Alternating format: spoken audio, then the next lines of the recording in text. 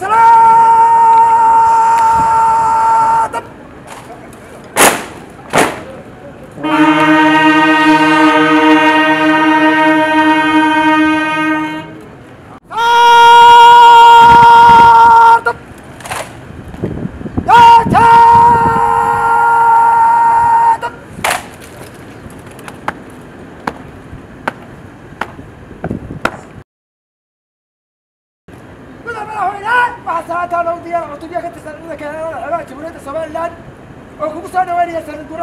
labaatanaad ee ka soo wareegtay aasaaska ciidanka ilaalada xeebaha jamhuuriyadda somalilan mudane madaxweyne ku soo dhawaaw munaasabaddan lagu xusayey toddobiyo labaatan guurada ka soo wareegtay markii dhidibka loo taagay ciidanka ilaalada xeebaha ee jamhuuriyadda somalilan oo ku taariikhaysnayd sannadii kun iyo sagaal boqol iyo shan iyo sagaashankii waxaa madashaa ka qaybgalka madaxweynaha ku wehelinayay guddoomiye ku-xigeenka koowaad ee golaha wakiilada xubno ka mida golaha wasiirada xildhibaano taliyaasha ciidamada qalabka sida ee jamhuuriyadda somalilan maareeyaal siyaasiyiin iyo saraakiil ka socda hay'adaha caalamiga iyo kuwa maxalliga ee wada shaqayntu ay ka dhaxayso taliska ilaalada xeebaha ee jamhuuriyadda somalilan taliyaha ciidanka ilaalada xeebaha ee jamhuuriyadda somalilan sarreeye guuto axmed hurre haariye ayaa ka taariikheeyey sooyaalka ciidankani soo maray iyo guulaha ay ku tallaabsadeen.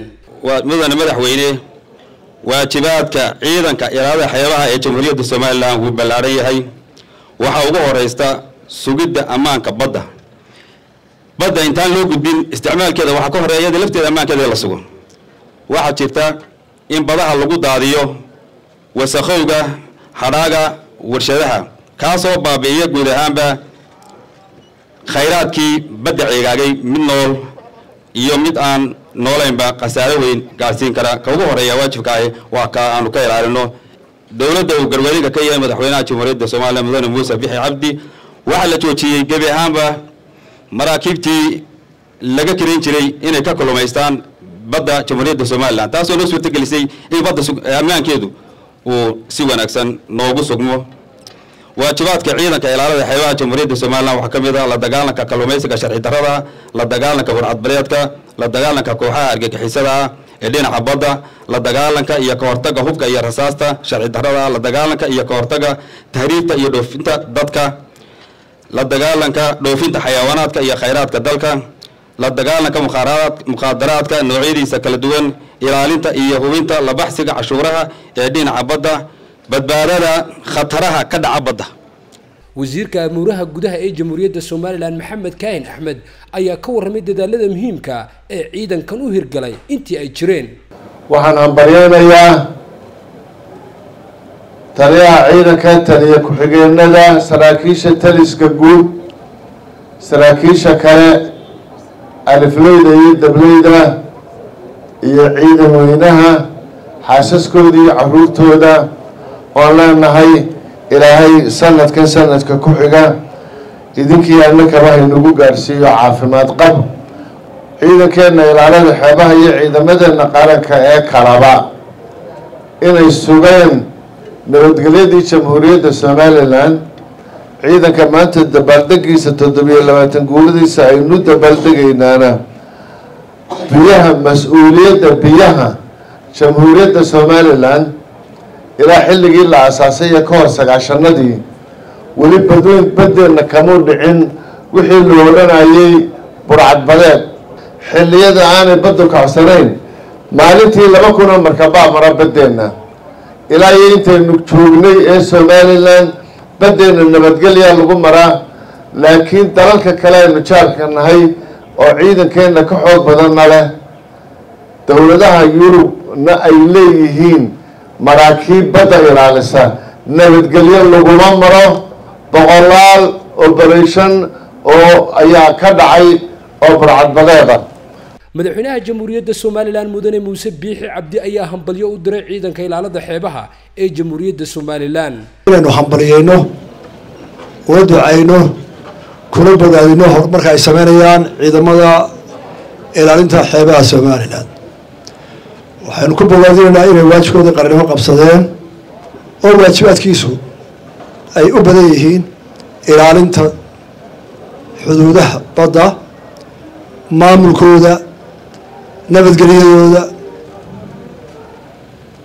maraakiibta maraysa nabadgelyadooda ma aha dalkaasi uu yaryahay ma aha maanta waa faqri.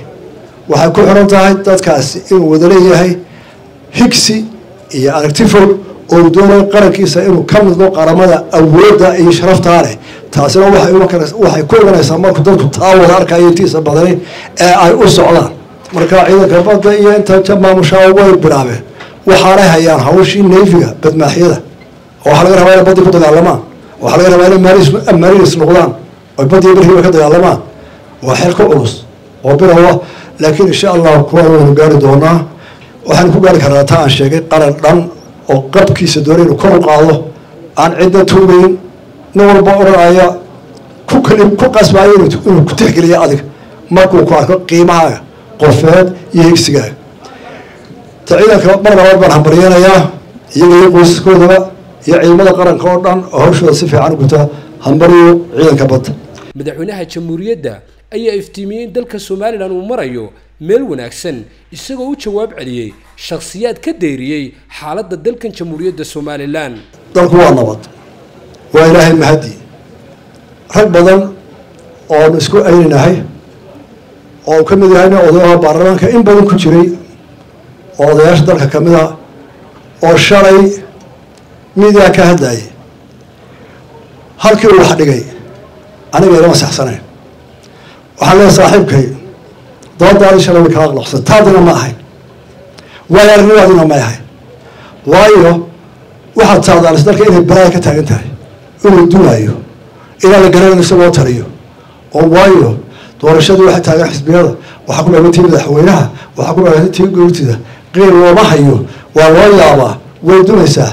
Aragtidaasi waa tiraja la'aanta ee dadka baqanaya ama dan leyna dadka khaliyaan ay sii jeediyaane waxaad adiguna og tahay oon adna ogahay oo shicibkuna ogyahay oo caalamku ogyahay dal aan nabad ahayn oo aan isku kalsoonayn oon hay'adii shaqaynayni doorasho ma galo ee uu isjirjiira markaa doorasho aynu iyo dalkaa waalan saaxib isma qabtaan. Dalkuu degaya doorashana u gelaya habkii loo galaya habraacyadeedii iyo sharciyadeedii iyo hay'adihii doorashada qabanayna way dhan yihiin. Weliba ragga la bidaayo waa aragnimada laga toddobiy toban sana baarlamaanka soo fadhiyeen inay dadka waqalada oo niyadjaba oo aan jirin u sheegaan dee waa khalad. Madaxweynaha jamhuuriyadda somalilan mudane muuse biix cabdi ayaa ka hadlay arrimaha doorashooyinka. Doorashadii waynu gelaynaa siday hay'aduhu nagu soo kala hormarayaan baynu u gelaynaa. Doorashooyinku maxaynu ka doonaynaa? Iyo xisbiyada badan iyo dimuqraadiyadda waxaynu ka doonaynaa inaynu ku horumaro waxaynu doonaynaa inay taladeenu ku wanaagsanaato waxaynu ka doonaynaa inaynu dowladdeenu ku fiicnaato oy dadka shaqada u qabato. Waxaynu ka doonaynaa shicibkeenu inuu dowladda la shaqeeyo oo midooba waajibka qaranku u baahan yahay uu ku taageero hay'adaha dowladda markaa waxaynu u baahana dadkeenu inuu aada iyo aada u barto dastoorka shuruucda dalka qarannimada waxaynu doonayno si aynu u helno dal wanaagsan oo dowladha aynu u shaqeyno kuwaynu higsanayna ah dimuqraadiyaddu waxaynoo tarto iyo inaan ku culloobin waxaan leeyahay aynu u bedelno inaan hore u marno aynaan ku culloobin aynu qabaa'il kaga baxno xisbiga wadagalno urura kala galno dadku siday isu isku areeyiin ay isu raacaan. Waa tallaabada uga baahnay adduunkan qaateen hore ugu maray. Madaxweyne muuse biixi cabdi waxaa kaloo uu tilmaamay. Waxa hubaana oonu wada ognahay cirshiida in dusheeda dahab aan laqodin laga baaro oo laga helo oo sannadkii u dambeeyay ilaa laba boqol iyo konton kiilo laga dhoofiyey ceel biyo laqodayo shidaal baa ka soo booday toon meel baa loo doonin raad wanaagsan oo shidaal baa ka soo baxay dalka nimcadiisu dad yarra hawaalo naga badanya laakiin maxaynu nimcadaa ku gaari karnaa inagoo dhisna hay'adaha dowladda inagoo dimuqraadiyadda iyo hanaanka dowlad wanaageena u mara si nabadgelyo oo ilbaxa oo aynaan markaynu kambeynkalolaha iyo doorashada aanu qarannimada gelgelin oon ummaddu inaga yaabin. In shuruucda dowladda iyo institutionka loo hogaansamo oo siyaasiyiintu u hogaansamaan iyo dadka dadku ay dhegaysanayaan ixtiraamka leh si caalamka wax kula qabsanaya ee ictiraafka markaad is ictiraaftaa lagu ictiraafaya uu kuu qadariyo arka inaad tahay ummad isku kalsoon dowlad dhisanaysa waddada ku socota madaxweynaha jamhuuriyadda somalilan mudane muuse biixi cabdi ayaa kormeeray qeybaha kala duwan ee xarunta guud ee taliska ciidanka ilaalada xeebaha jamhuuriyadda somalilan. Halkaasoo madaxda iyo saraakiisha gacanta ku haya maamulka qeybaha kala duwanna madaxweynaha uga warameen adeegyada ay bixiyaan iyo waxyaabaha lagu soo kordhiyey taliskan